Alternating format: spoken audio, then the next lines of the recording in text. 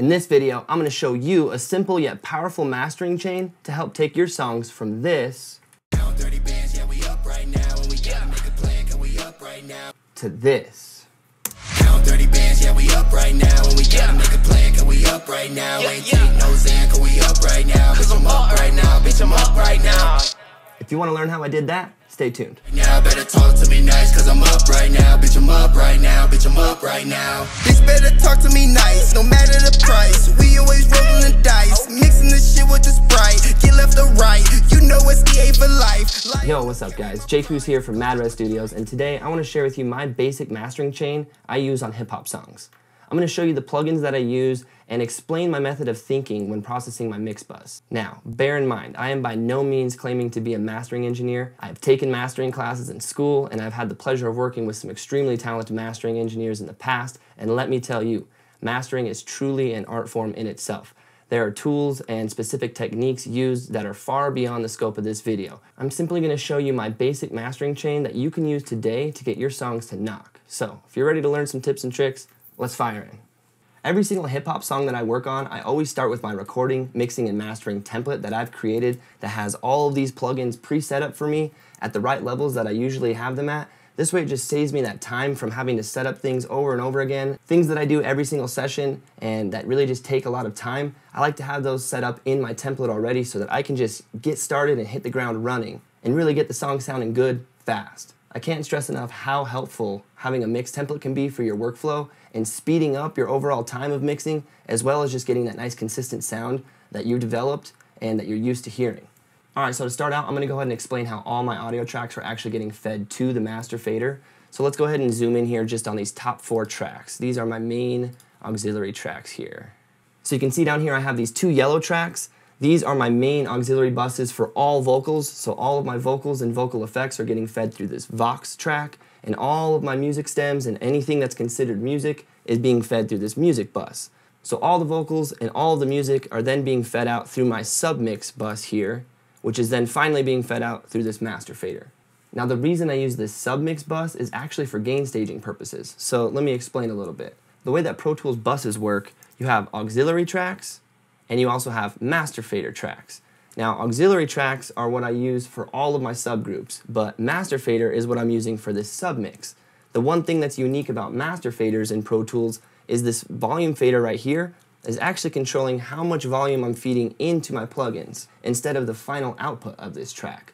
So basically all that means is I'm able to control my amount of headroom going into my master chain before I even hit that mix bus. So check it out. If I open up this plugin here, let's make it active. If I bring this volume all the way down and I push play, there's no signal getting fed into this plugin, which is awesome. That means I can control just exactly how hard I want to hit this plugin. So I can start bringing this up and you'll see signals start to feed into here.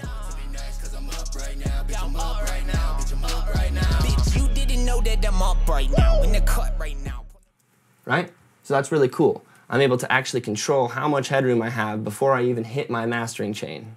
I actually usually bring this first plugin on my mastering chain in pretty early on in the mix just so I can see about how hard I'm hitting my final master fader. So I'm really just looking to bring this volume up until I'm driving these plugins about the level that I'm used to hitting, which is right around this 0 dB VU. So you can see here when I'm at minus 4, I'm coming in right about where I want to hit, right in this area. Bands, yeah, right now. Gotta So by bringing that volume down by minus four, I'm buying myself a little bit of headroom going into these plugins. So the very first thing I'm doing here is I'm hitting our virtual mix bus. This is just adding a little bit of that console emulation and a little bit of drive here, which adds some grit and some really nice low end, especially when using this Brit N setting here. So I'll let you hear what this drive knob is doing. Count 30 bands, yeah, we up right now. And we gotta make a plan, cause we up right now. Ain't take no Zan, cause we up right now. Bitch, I'm up right now. Right? So it just adds some really nice energy and it adds some really nice low end to the mix overall. From there, I go right into this EQ, which is just giving me a real high shelf at 12K. So the reason I bring this first plugin in my chain early on in the mix is because of this high-end shelf that I'm doing. By having this high-end shelf across the whole entire mix, it's a technique called top-down mixing, where you start mixing from the very top and then approach all the individual tracks after. This is just ensuring that I have a good amount of high end going into my mix so I'm not having to boost high end on all the individual tracks. I know that I already have a good amount of high-end presence just from this one move right here. So I'm boosting about almost 4 dB at that 12K range on my whole mix. Let's hear a quick before and after to what this virtual mix rack is doing.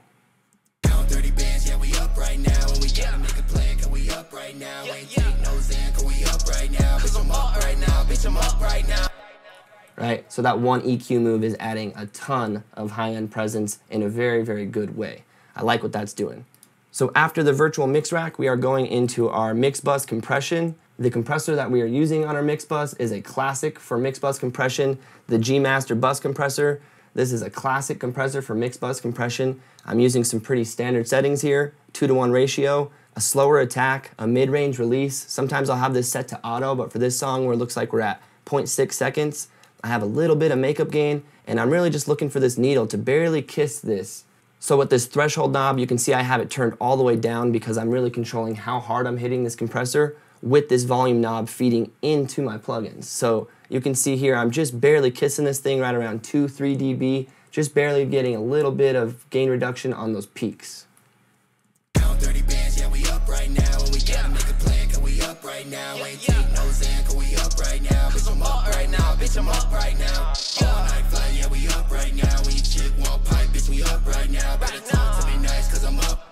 This compressor is really just gluing my mix together and helping those vocals and that music be married as one. So after this compressor, we're going right into the virtual tape machine.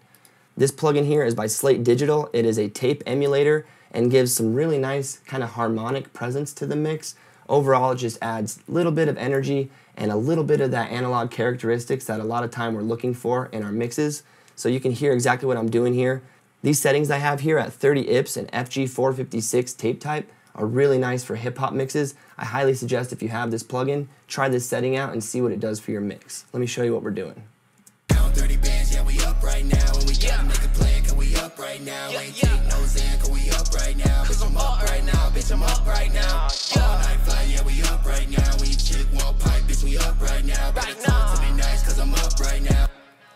so you can just hear that thing wake up just a little bit. It just kind of takes a little bit of a step forward in a very nice way. I'm really just looking to hit this thing right around 0 dB VU. You can tell that's a common trend here on my master chain. I'm never trying to hit any of these plugins too hard or too hot coming in. I'm always very conscious of my gain staging and how hot I'm hitting every stage of my mastering. So into this plugin, you can see I brought my input down just a little bit to make sure that I'm hitting right around here. If I were hitting too hot, this thing could sound distorted and it would sound real bad real fast. Let me show you what that sounds like.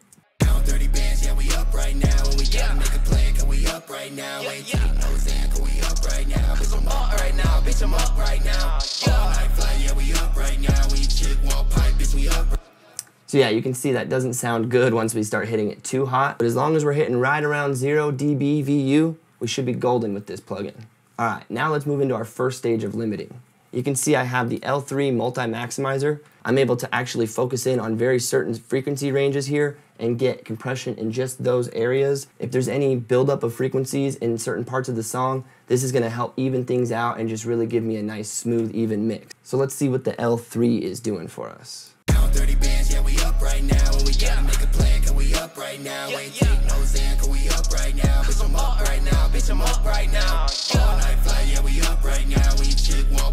You can see I'm basically only hitting right around this frequency range. There might have been just a little bit of buildup around that kick drum in that low end area, so this is just kind of help compensating for that. So you can see my threshold here I have at minus 5 and my output ceiling at minus 4. I actually never even touch these settings at all. I know that my mastering chain, as long as I'm hitting these other plugins at the right levels, I should be feeding into this L3 right at that right level that I like. So I never touch my threshold and I never touch the output. If it turns out that I'm hitting this plugin too hard, I'll back down this fader right here to bring down the input going into my plugins, or I might even put a trim plugin right here or right here before this plugin just to bring that level down a little bit before getting to this plugin. Again, I'm never trying to overdrive any of these plugins and make them work too hard. The key is working in series and having little changes add up to the overall picture you're going for. So after my L3, I'm going right into this JST clip now JST Clip is a soft clipping plugin. It's like a limiter, but instead of just ducking the signal when you cross the threshold, it's actually gonna cut off the signal in a very musical way and add a little bit of harmonic distortion so that we add a little bit more grit and aggression whenever we're applying this stage of limiting. You can see here I'm at plus 4 on my gain knob, and I'm at minus 3 on my trim knob.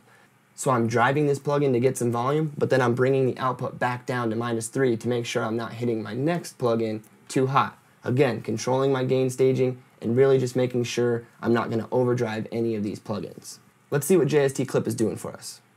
30 bands, yeah, we up right now, and we gotta make a plan, cause we up right now. Ain't take no Zan, cause we up right now. Bitch, I'm up right now, bitch, I'm up right now. All night fly, yeah, we up.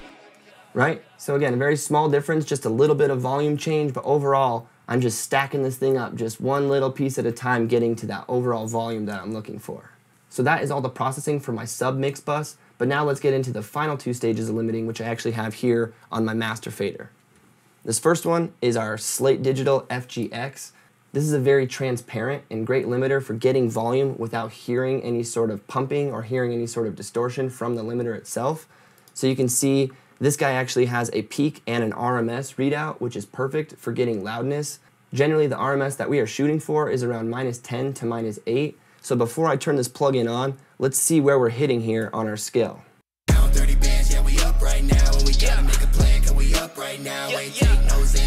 So you can see we're hitting right around this minus 12 to minus 13 range. We basically are looking to get about 3 or 4 dB of gain out of this limiter. Now a really cool thing here is also this button called constant gain monitoring.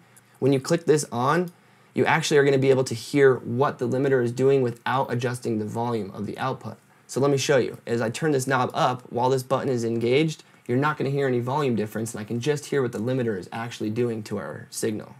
30 bands, yeah,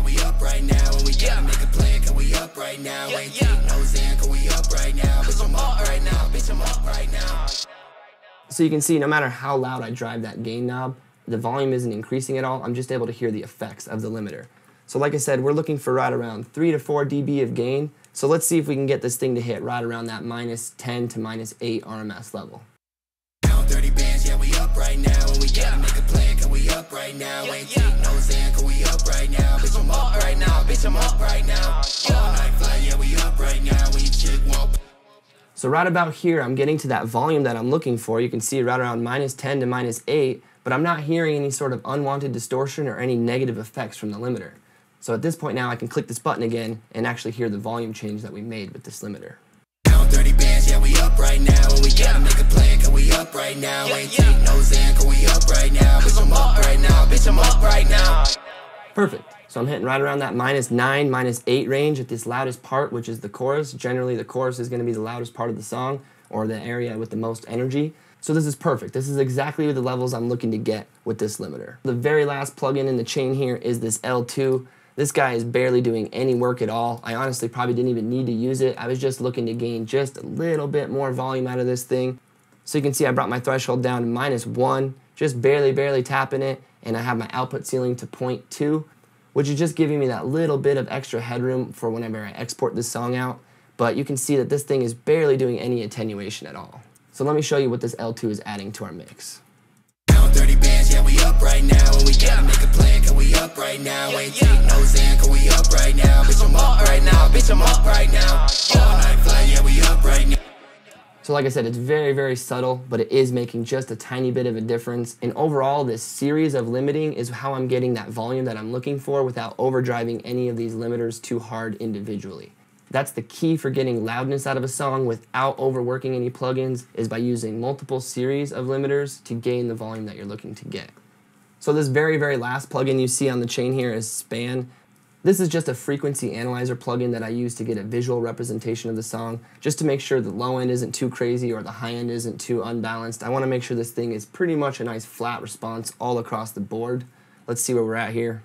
30 bands, yeah, we up right now. And we gotta make a plan, cause we up right now. Ain't take no Zan, cause we up right now. Bitch, I'm up right now. Bitch, I'm up right now.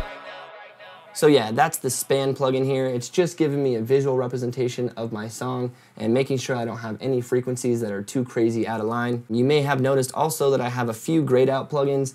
These guys here I'm just not using on this particular song, but they're a part of my template that I use a lot of times. So this FG Grey here is a compressor that I use for parallel compression. If I find the overall mix needs a little bit of parallel compression, this guy here is for that. This Pultec here, this plugin here is great for adding some overall high end or a little bit of low end. A lot of time I'll use the 16K or the 12K range and I'll just boost to give me some more presence. If I need a little bit more bump in the bottom end, I'll go around 60 or maybe 100 and just give this a little bit of a boost. So this plugin just sounds great when you're boosting high end or low end in a very transparent way on the mix bus here. On this song I didn't use it at all, so that's why it's grayed out. The last EQ I have here is my Q10. This EQ is great for doing any carving of any unwanted frequencies. So if at the last minute here I hear something around this 4K range, I can turn this guy on, I can bump the Q up all the way to 100 you see, and this is a very, very sharp, tight Q now, and I'm able to bring this down and just notch out that really annoying frequency if there's something there. Maybe there's some buildup in the low end or something just right around here in this mid range. This plugin is great for being able to sweep, find that problem frequency, and then just remove it surgically like that right at the last stage before going into all my limiting. So that's what I use this EQ for. You can see again, I didn't even use it on this mix. So I usually just keep these plugins grayed out until I decide that I need to use them. Alright guys, so let's do a quick A-B now just so we can see how far we've come with our full mastering chain. Count 30 bands, yeah we up right now And we got a nigga playing, cause we up right now Ain't take no Zan, cause we up right now Bitch I'm up right now, bitch I'm up right now. All night fly, yeah we up right now. We chick want pipe, bitch we up right now. Better talk to me nice, cause I'm up right now. Bitch I'm up right now, bitch I'm up right now. Pretty dope, huh? So there you have it. That is my basic mastering chain that I use on this style of music. Now obviously every song is going to be a little different in the way that I approach things, but this is my processing I'm using on most of my mixes. If you're interested in the template that I use for recording, mixing, and mastering songs like this, check that first link in the description. I put together three different templates. One of them's for just basic recording, another one has my full vocal chain with all of my effects that I use for vocal processing, and then the last one is my full-blown recording, mixing, and mastering template that I use in this video today. Check those out if you're looking to really speed up your workflow and improve your mixes fast. Now, if you found any of these tips and tricks helpful or useful today, do me a favor and smash that like button and leave me a comment below letting me know how you use some of these techniques in your next mix. If you haven't already, consider subscribing. I'm gonna be dropping a lot of heat real soon. So thank you for watching today, and we'll see you in the next video. Peace. Me for what? I'm pumped off them bucks. I'm chilling with a bunch of hippie chicks, rocking trucks, uh, rolling some blunts, thinking we up, surrounded by.